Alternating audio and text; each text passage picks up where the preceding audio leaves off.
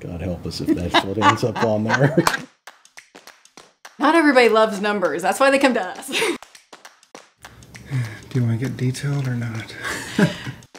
I'm assuming some guy named Berberich and some guy named Trahan got together and decided they both liked accounting and started a firm together.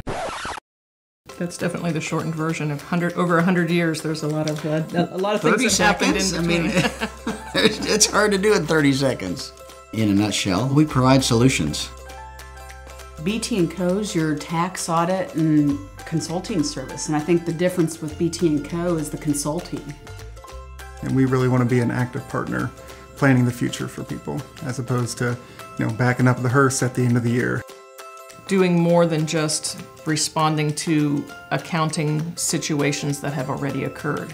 It's it's taking what has already occurred and looking into the future. We're not just going to sit here and look at the numbers. We get to know what are their strengths so we can help them do what they do best. We subscribe to the uh, Seattle Fish Company philosophy. Be there. Make their day. play, and then We always get to three and forget the fourth. choose your attitude. there we go. And we take that to the client. And when the client sees that we enjoy what we do, they get a lot out of that. Everybody draws a fish name when they first come here. I think I'm a rainbow shark. Mine's a wahoo. Kendall the Guppy. Long bill spearfish. Mutton snapper. A hardcore shark. I don't know.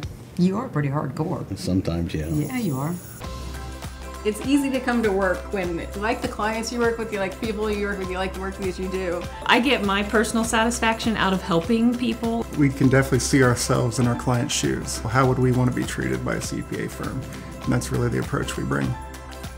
I mean, we love accounting. We love it.